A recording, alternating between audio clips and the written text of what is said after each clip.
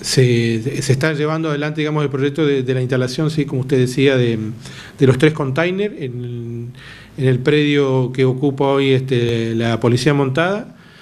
con la finalidad, como decíamos, de darles herramienta a, este proyecto de, las mamás que, que, cultivan para, para, digamos, para la salud de sus hijos, ¿no?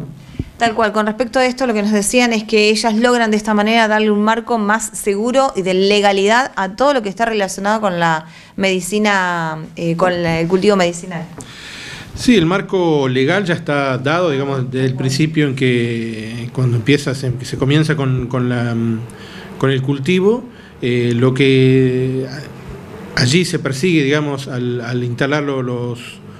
los containers en este lugar es más que nada una cuestión de seguridad, digamos, para que exista una, una digamos, un, una guardia permanente, una vigilancia permanente y evitar por ahí este algún tipo de vandalismo contra la, la, el cultivo, ¿no? Bueno, nos decían también que hay un proceso de capacitaciones que se va a llevar adelante también y que de esta manera han logrado eh, coordinar en todo lo que tiene que ver con este, identificación de las personas que ingresan al predio. Digamos, se le da un marco de seguridad que para ellos es sumamente importante.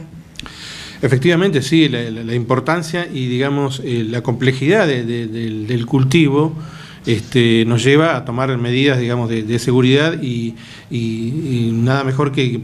digamos, instalar esto en un predio que, hoy ocupa la policía para tener este, la, la vigilancia permanente y eh, tener identificado quiénes son los que, los que van a al, al, lugar y, y, las personas autorizadas, ¿no? que, que, ya la asociación la, está organizado en ese sentido y ellos saben bien quiénes son los que los autorizados, digamos, a ingresar al predio y a, a llevar adelante la, la, digamos, el cultivo, ¿no?